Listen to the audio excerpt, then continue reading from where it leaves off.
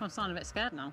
So we're going to do some different chip shots. How do you feel about your chipping right now? I'm, well, I'm, I'm not even going to talk about my chipping because my chipping is terrible with a capital T. Now we've found ourselves, it's just rolled off the back of the green, quite a steep slope from here.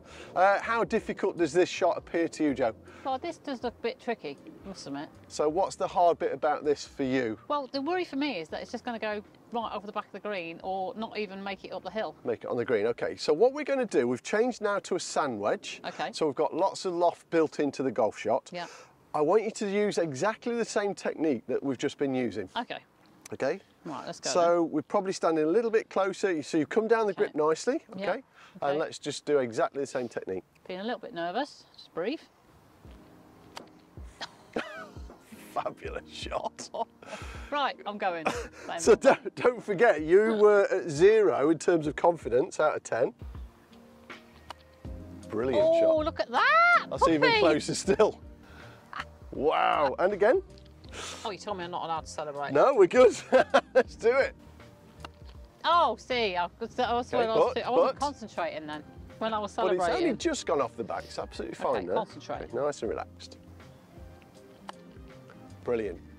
So you've hit, That, that's It's amazing. quite nice, isn't it? That is amazing. So if you could get that's three out of four. Again, from here, we're thinking of your confidence level at the start. If you got it in the hole in three shots from here, that'd be amazing. You've got three chances of doing it in two. So that's stunning. Now, what I'm going to do is I'm going to switch this up. I haven't told you what we're going to do now. Right. We're going to make this shot feel more difficult.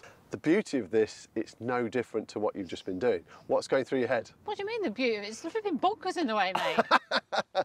So if we end up in that bunker, that makes it more difficult. But the shot that we're about to play is no different to what we've just done. Okay.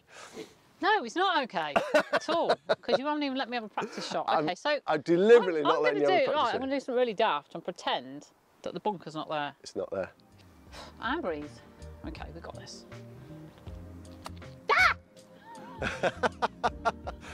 And you've hit an amazing shot. It's still on the Ah, green. is It's yeah, it's just you can't quite see it from there, but uh, a brilliant golf like- shot.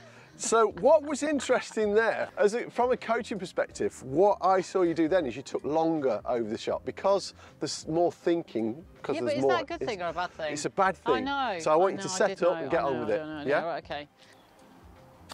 Brilliant. Because this, Sorry, I'm not allowed to this is that a either, am difficult shot in most people's books. Oh! Brilliant. but she's only going to do it again. Sorry, I can't do that. Can't I? So everyone has at gone over the bunker. Now let's think about the technique. How was the technique in terms of difficulty? Well, it was exactly the same as what I've been doing. yeah. So so what's cool? feel like it We've played some really different shots using one technique. We've just choose changed the tool. That's all we're is doing. not a bunker. It's not a bunker. That's an opportunity. so notice I've put you near the water.